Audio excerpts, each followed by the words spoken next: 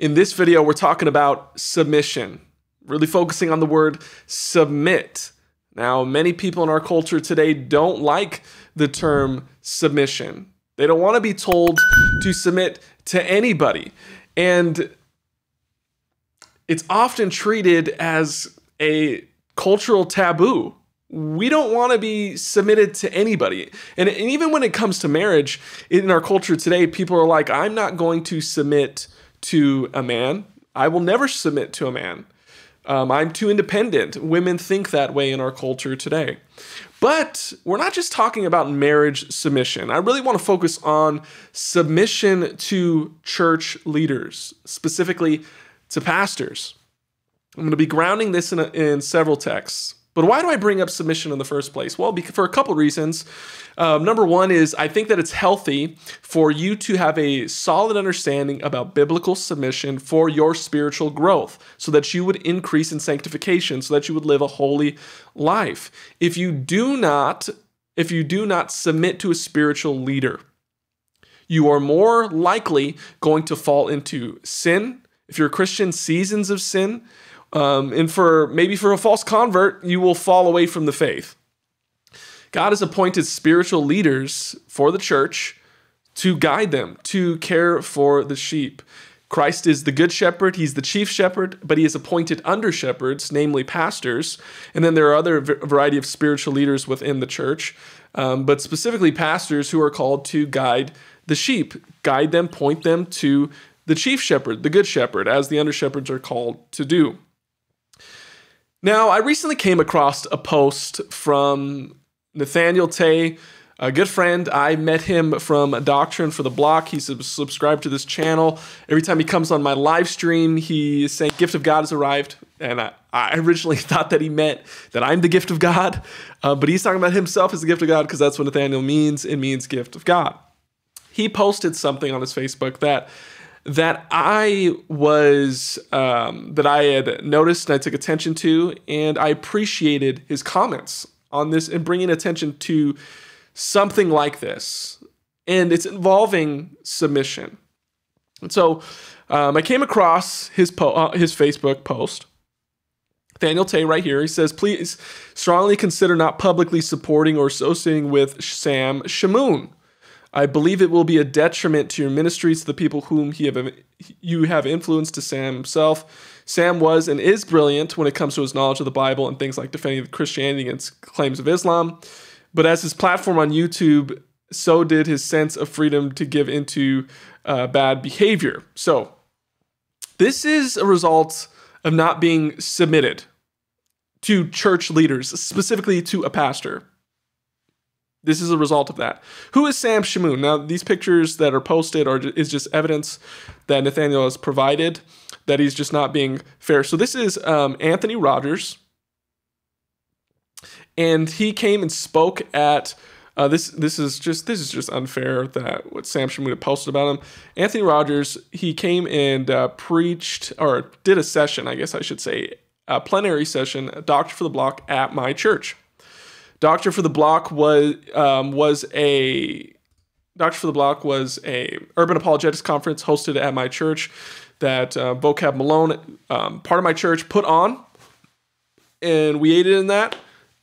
I spoke at every single one of those um, um, conferences, and uh, so here's here's a picture. Here's some pictures that are from um, Nathaniel's posts um, we got in this picture, we got Nathaniel in the back here. We got Miss Titus 2 right below there.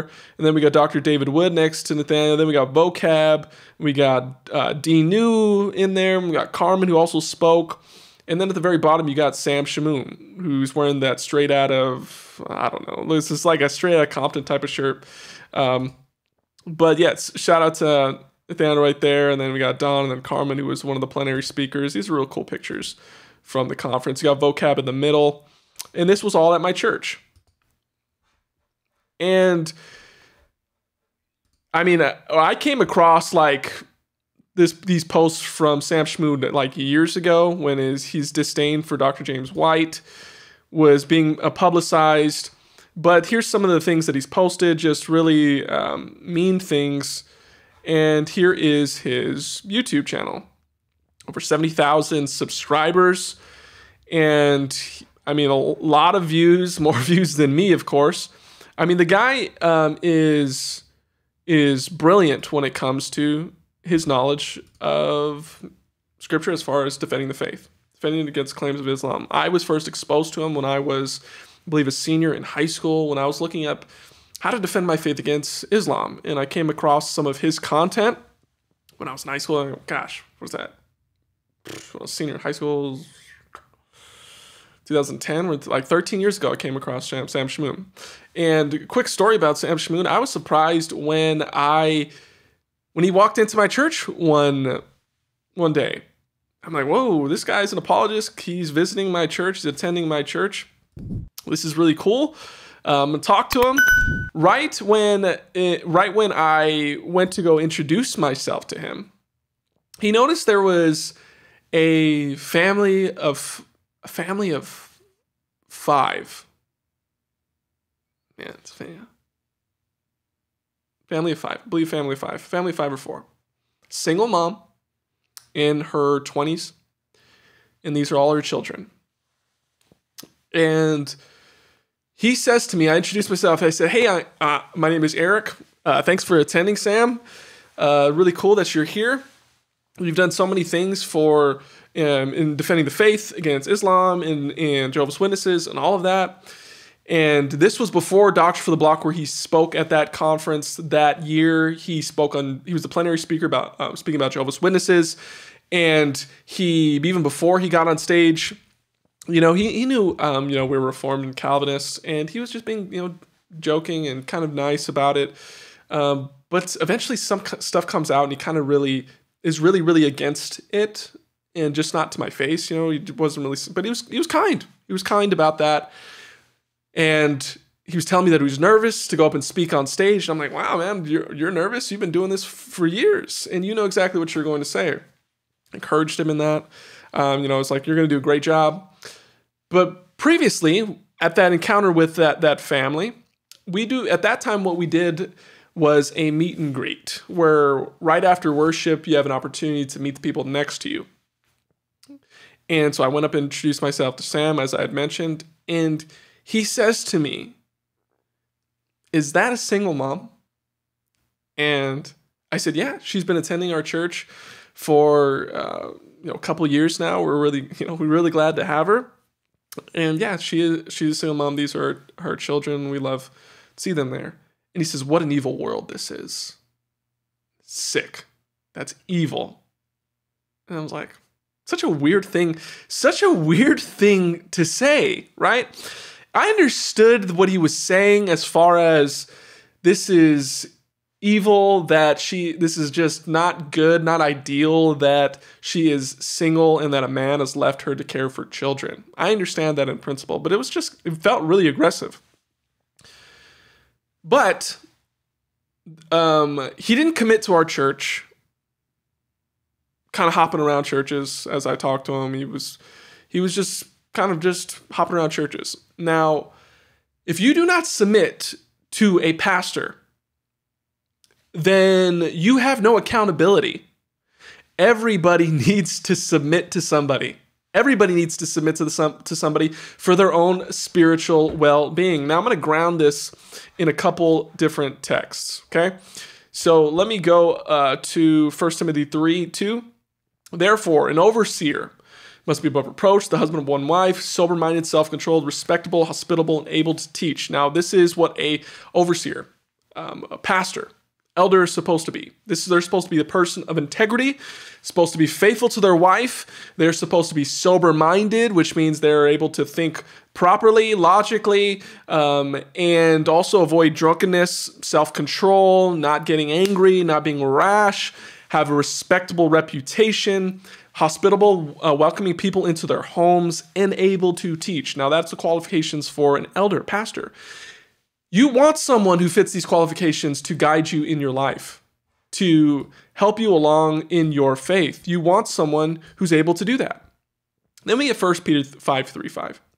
Not domineering. Furthermore, about elders, not domineering over those in your charge, but an example to the flock. A pastor is not supposed to, um, a pastor is not supposed to be domineering over people. Now, submitting to a leader, you should not be submitting to a leader who's going to spiritually abuse you. Now, that we're not talking about submitting, that, that's cultish stuff, where you have this illogical belief system, a crazy belief system, and they lord it over their people, and they brainwash their people into doing immoral acts now, this is not what we're talking about. We're talking about not domineering over those in charge, but examples to the flock. These are people who are examples, modeling the behavior as was listed in 1 Timothy 3. And when the chief shepherd, that's what I mentioned previously about Jesus, he appears. When Jesus appears, you will receive the unfading crown of glory. Likewise, you who are younger, be subject to the elders. Subject, submitting. Submit to your pastors. Submit to them that they would guide you. You need so here's the deal. Everybody chooses their pastor. Everybody chooses their church. Here in America, we have a church on every single corner. It's the truth. You have a church on every single corner. You choose your pastor. Everybody chooses their church. You choose your pastor. That's the truth. It's not like it was in the, the, uh, the in um, in the first century, where Christians had to pick their nearest church and gather with that particular group of people. Now you got a church on every corner. You now need to just choose a biblical church and a pastor that's going to care for your life and is going to preach the word, who believes in orthodoxy, who believes in the essentials of the faith. You need to choose and submit to them. Now, I'll talk in a moment about what submission is supposed to look like, but that is important for you to know. As this passage says, Subject, likewise, you are younger, be subject to the elders, clothe yourselves, all of you, with humility toward one another for God's purpose. God opposes the proud, but gives grace to the humble. This is a challenge that you are called to be humble and be subject to your pastor, who God has entrusted to care for your life. Jesus, the good shepherd, chief shepherd, has appointed under shepherds to care for your life until he returns. So you need to be subject to them. But th- this First Timothy 5 talks about an issue of pride and, and humility. The reason why people don't want to be subject like Sam Shamoun, the reason is because of pride. If you can't submit yourself to anybody, you have no accountability and you will inevitably fall into sin, and nobody can call you out.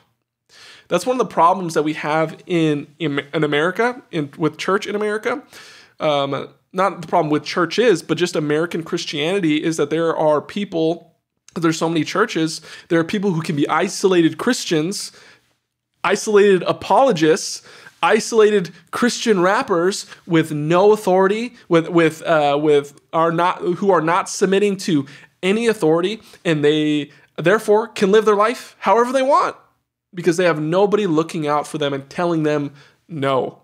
It's a pride issue.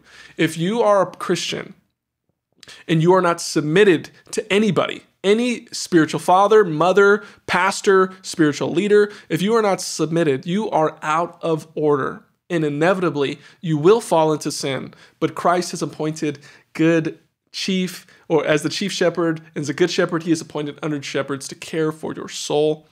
Uh, let's keep moving in the ver- in uh, 1 Timothy 5:17. Let the elders who rule well be considered worthy of double honor, especially those who labor in preaching and teaching. Honor, giving honor to them. This means not talking crap about your leaders, not talking crap about your pastors. I need to say this for just a moment. Let me say this for a moment. If you are always going to church and expecting validation. And the moment your pastor tells you something, the moment your pastor tells you that you're not supposed to do something,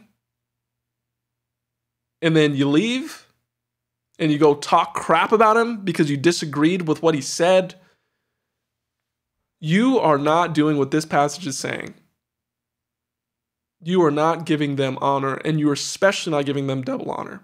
And we're going to talk about some scenarios in a few moments. but let them be considered worthy of double honor. And then we get Hebrews 13. We go down to verse 17. This one. Obey your leaders and submit to them, for they are keeping watch over your souls. Obey and submit to them.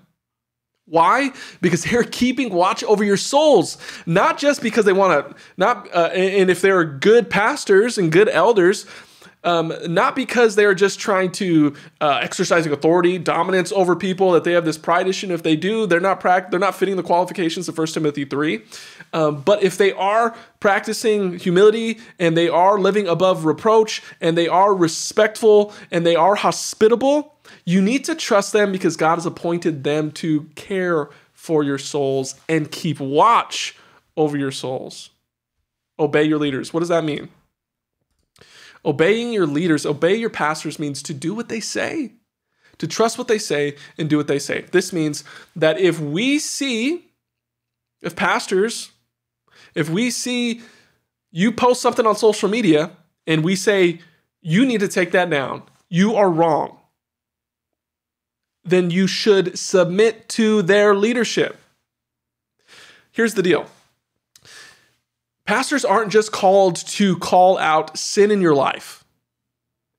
Pastors are also called to care for your spiritual journey, your spiritual walk with Christ. And social media isn't in the Bible, right? There are certain things that aren't in the Bible because of the advancement of technology, because we've because of the evolution of society. And so there are problems that the Bible teaches that we that we um, can have an answer to. There are problems. There are new problems there are new problems and new things, but it's the same principles that the Bible teaches that we can help guide. For instance, a pornography is not something that's taught in the Bible because it was not invented till thousands of years later. But that doesn't mean that the Bible doesn't give us principles on how to tell Christians not to watch pornography.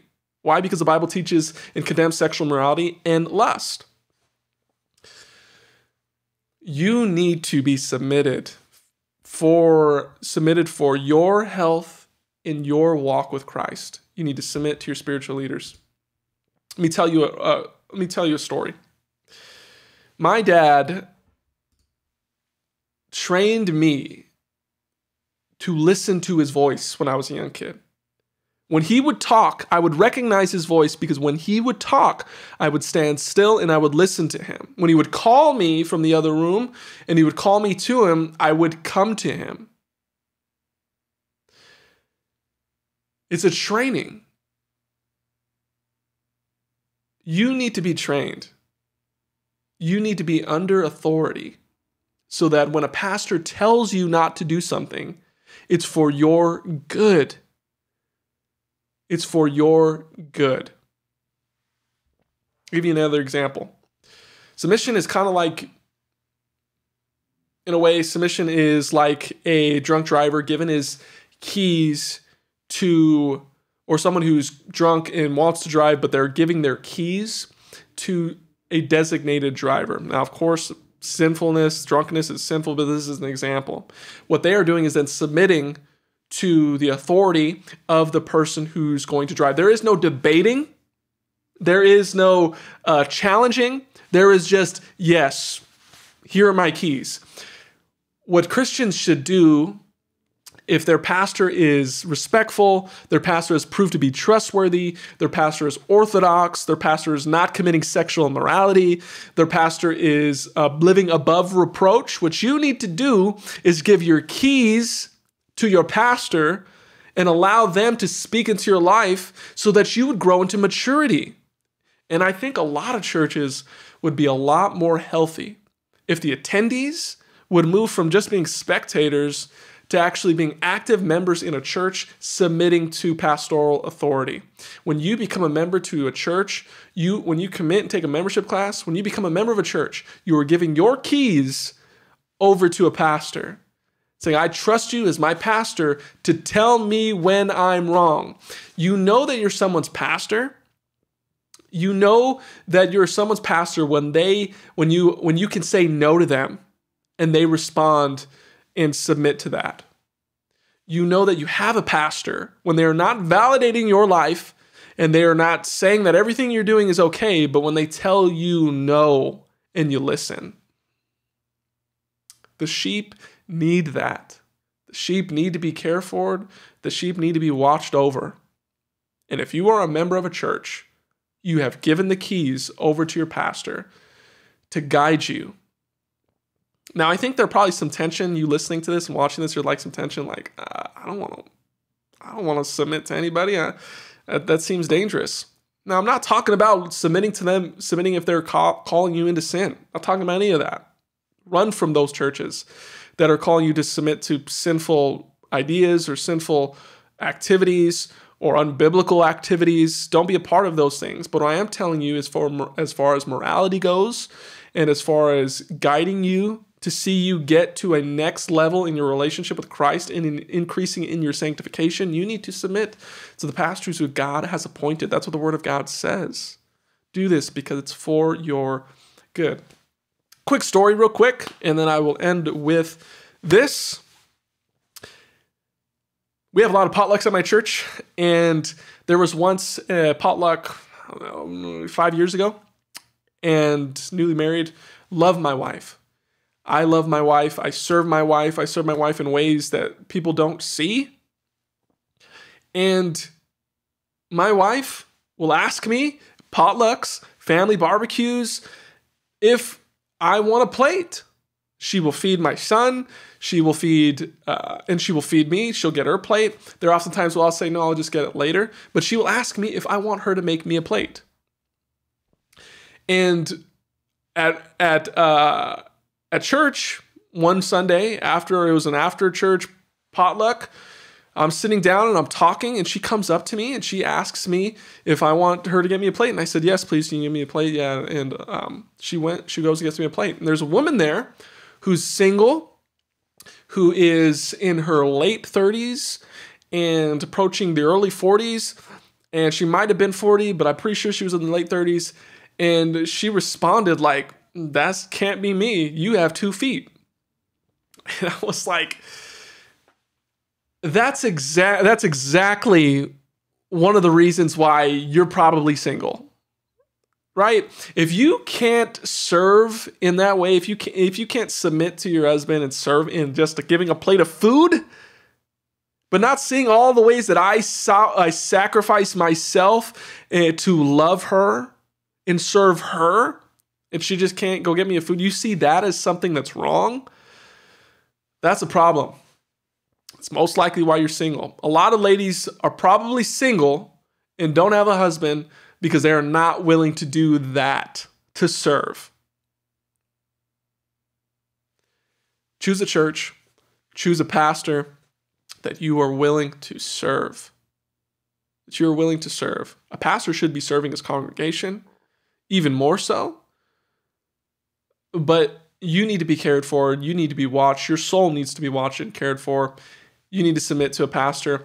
Let me know what your thoughts are in the comment section below. If you receive value from this video, like it and subscribe to this channel, and I will see you in a future video. Thanks for checking out the video today. Uh, feel free to ask any question you want in the comment section below, or you can simply comment and provide your perspective. Also, don't forget to like this video so that it'll boost up the algorithm so we can reach a broader audience, and subscribe to this channel. Feel free to check out one of these videos. I believe they'll provide value to your life as well. And I'll see you next time.